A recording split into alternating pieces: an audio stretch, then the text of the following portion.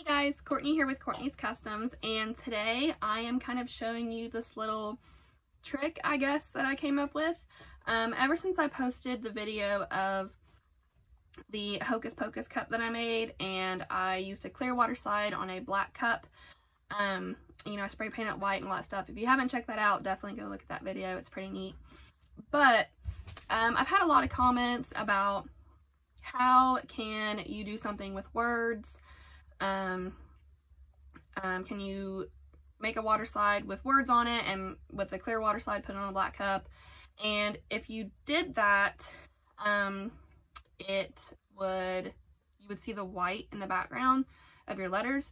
And what I'm going to show you it does not have letters but it does have um, like little spaces in it you know like like a letter would. You'll you'll see whenever I get into the video. But I am using a black cup again. Um, this is a 20 ounce from Tumblerology. I painted it black and I'm going to use clear water slide paper again. And at first, this is the image um, that the customer wanted on it. She sent me a picture of, um, I think it was like her husband's shirt or something like that. He must be a music teacher. I don't know. But it was a black shirt, black button-up shirt, and it was like a bunch of different colored music notes, and they were all jumbled together, and then they kind of fell down so I just found some pictures of different music notes and I went into Design Space, hit edit, changed the color, dupl duplicated them a bunch of times, and then um, just kind of made this image on my own. And at first, like my thought process was, okay, I'm going to put it on the black cup like I did the Hocus Pocus cup. And then I printed this out. I wasted like a whole sheet almost of water slide paper. Um, I printed this out and realized that it's not going to work because you're going to see all of this white um, the spaces in between the little music notes, you're going to see all of it. So I am going to go into my Cricut design space and show you how I am fixing this problem and then I haven't actually tried it yet so we are going to see together if this works. Okay, so in Cricut Design Space, I have my little image here that I made, and what I'm going to do is go over to Shapes, choose a square, and then go over to edit and arrange and send it to the back. And then just kind of size the square to cover up the entire image. I'm going to make it a little bit longer just to be safe. But then I'm going to go over to edit go to cut change the color to black. So now the background of the image is black and now I'm going to select it all and flatten it so that will turn it into a printable image. I'm going to save it just in case I need to use this in the future. And now I'm going to print it out, so I'll go to make it, which takes forever, I'm sorry. Alright, now that I'm here, I want to make sure to turn the bleed off and mirror on because I'm going to be placing it face down on the cup. Okay, so now that the image is printed off, here's what it looks like. I let it sit for a few minutes and let the ink dry. If you have not watched the video that I did on the Hocus Pocus cup, I will walk you through what I'm doing here. Let me try and get this out of the glare so you can see. I am using Rust-Oleum two times matte clear. It doesn't have to be matte. It can be gloss, semi-gloss, whatever, just as long as it's clear. I'm going to seal it.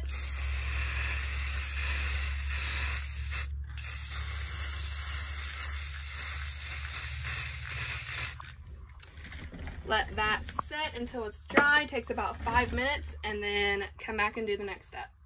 All right, so now that the sealant is dry, I'm gonna come in with Rust-Oleum two times flat white. I don't think this matters if it is flat, but give it a good coat. of white paint. And it doesn't have to be like if you're gonna prep a tumbler, um, you can still kind of see like the black and the image shining through. That's fine. Now wait for this paint to be completely dry and then go in again with your clear sealant. Hit it again with some sealant, let that dry, and then come back for the next step. Okay, so now it's ready to be put on the cup. This is what it looks like in the end. So I'm trying to find where the little music notes start. And I'm just cutting around them.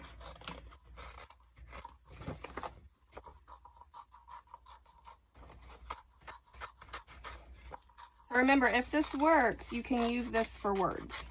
If this works. Okay,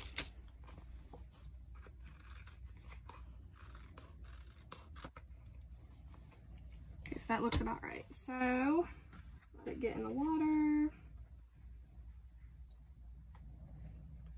In there. And I'm going to put the link to this water slide paper that I get. I just get it from Amazon. It's pretty inexpensive, but it's also very, very good quality. I feel like it doesn't like, I haven't had any trouble with it ripping or anything like that.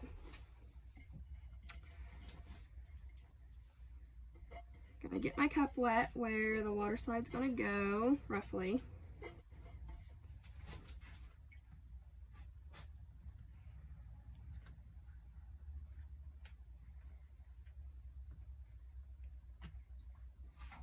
If you've never used water slide before, you'll know it's ready when you can start sliding the back off of the image.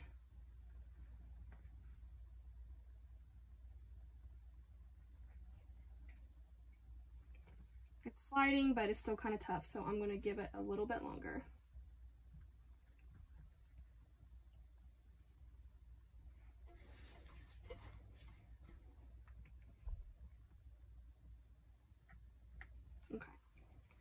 I'm going to put it face down and looking kind of up. I'm going to let some water drip onto the cup.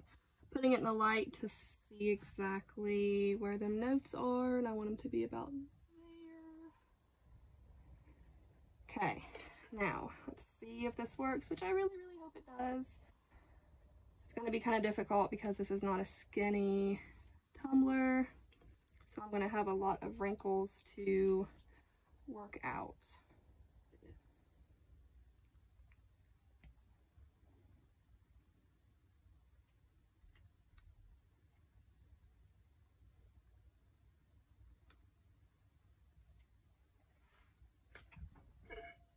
There we go. It worked.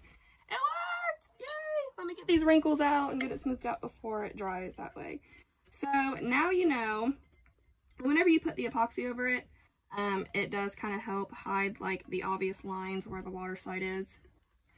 But now I know, and now you know, whoa, that's a big water pocket under there, um, that this can be done with anything you want to put on your tumbler. You can do this with words, you can do this with music notes, you can do this with anything as long as you get onto Cricut Design Space and put a black background behind the image. It will work. That is a gigantic either air bubble or water bubble. I think it's air. There we go. Got it worked out there. Okay, now the image is nice and flat, I think. Oh, that's awesome. That makes me excited. I didn't know if it was to work or not. But yeah, so, oh my god, that's awesome. I'm so excited. I was like, man, if this doesn't work, I'm to have to print out or cut out vinyl, which, I mean, I could have done. It just would have been, like, super duper tedious. But it works, thank goodness. So there's my little trick of the day. If you guys have any questions about this, or if you guys want me to try anything else, please let me know. And don't forget to subscribe. Thanks guys, bye.